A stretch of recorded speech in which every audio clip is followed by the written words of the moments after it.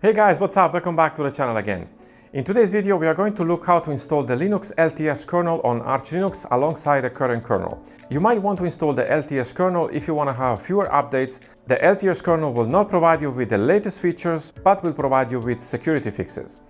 If you have new hardware, chances are that the Linux LTS kernel might not work, but if your hardware is not so new, the LTS kernel will work just fine, and it will be probably more stable in the sense that you will not get so many updates that might break the system.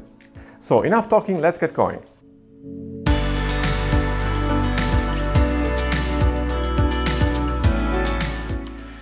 So here we are on a base installation of Arch Linux. I installed here the GNOME desktop environment, but what I'm about to show you here in this tutorial is going to be valid whether you use GNOME, KDE or a window manager. So let me show you something here. Let me open up the terminal and let me go full screen and increase the font size so that you can see better. Arch Linux, it's based on the Linux kernel. And as you probably also already know, the Linux kernel comes in different flavors. Now, usually when also I install Arch Linux, I normally install the Linux kernel, which is going to provide you with the latest kernel. And some time ago, the new kernel was released, and that's the 5.9 kernel. We can check this out here in the terminal by typing in uname dash -r and hit enter. And you can see we have the latest kernel, which is 5.9.1. So this is the latest kernel and it offers basically the latest features. Now, if this is not really your cup of tea, you can also install the LTS version of the Linux kernel. LTS stands for long-term support. So that means you have less updates, you have only security fixes, and if you're happy with the LTS kernel, you'll probably stick to it. Now, if you installed Arch Linux with the main kernel here, but you want to try out also the LTS kernel, we can do that as well. Now we have to be aware of several things here. The first thing we need to do, we need to check actually which packages we have installed in the system. To do this, we can type in pacman-qs, which is going to search in the installed system which packages we have installed. So I'm looking actually for the Linux packages, and then I can hit enter. And you can see here I have a lot of things coming up, so I want to filter this out a little bit. So let me clean up the terminal and pull up the last command and pipe this command to the grep filter. And I'm going to look just for the Linux packages any hit enter. So as you can see here, I have several packages with a reference to Linux, but the ones I'm interested in are the Linux 5.9, which is the latest kernel, and I have also here the Linux headers. So this is very important because if you have also the headers installed, that means if you're planning to install also the Linux LTS kernel, you will also need the Linux LTS headers. And that's about it actually in my case. Now I want to find out actually what packages on the repositories have the LTS reference. So let me clean up the terminal here and let me type in pacman-ss and then I'm going to search for Linux as well. And I'm going to pipe again to the grep filter and I'm going to look for LTS.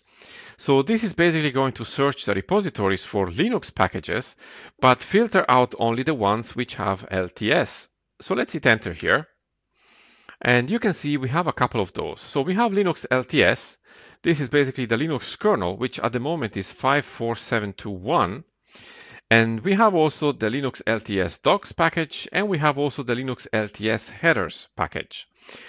One very important thing is if you have also the NVIDIA drivers installed on your system and you're using the latest kernel and you want to try out the Linux LTS kernel, you will need to install also NVIDIA-LTS. As it says here, these are the NVIDIA drivers for Linux LTS. You can look also for this package, for example, the R8168-LTS package. This is a kernel module for Realtek 8168 network cards for Linux LTS.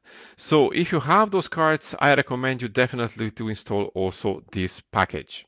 Now, what we are going to do now, we are going to install, in this case, just the Linux LTS package and the Linux headers LTS package, because I have already the Linux headers installed, and I need to make sure to have also the LTS version of it if I'm going to install the LTS kernel. So let me clean up the terminal, and I'm going to type in sudo pacman-s. So the first package is going to be linux-lts, and the next one is going to be linux lts headers. Again, if you have also other requirements like the NVIDIA drivers, I recommend you to install those as well. In my case though, I don't have an NVIDIA card in this system, so I don't need to install this. And then I can basically hit enter here and I need to enter my sudo password. And now we can proceed with the installation. Now it's going to take a moment here to install the packages, so I'll be back in a second. So there you go. The packages are now installed and as you can see the system already generated also the image for the init fs with the Linux LTS connotation. So that means we have also the LTS kernel available in the system. But we have here one issue and that is if I reboot the machine now, I will be booting again into the default kernel. So I need to make the bootloader aware that there is a new image in the system. Well, to do this, we need to run again the grub configuration file in Arch so that the grub bootloader recognizes that we have another image in here. So to do this, we need to type in sudo grub-mkconfig -o and then slash boot slash grub slash grub .cfg. So we are basically here recreating the configuration file for the grub bootloader so that it recognizes also the new kernel. And then we can hit enter. And it's going to take a moment here to regenerate the configuration file. And as you can see here, it says it found also the Linux image with the LTS. And the same goes also for the initram fs image. So let's try to reboot our system here by typing in reboot and hit enter. It's going to take a second here for the machine to boot up. And there you go. Here we have grub. And as you can see, we have Arch Linux on the top. So you might ask, well, where is the LTS? Well, it's there. We just have to go to the advanced options here and hit enter. And as you can see, we have the first option there. It's Arch Linux with Linux LTS. And we have also Arch Linux with Linux. So we can choose from here also to have the machine booting with the LTS kernel or with the normal Linux kernel. So I want to boot up here with the LTS kernel. So I'm just going to select this hit enter.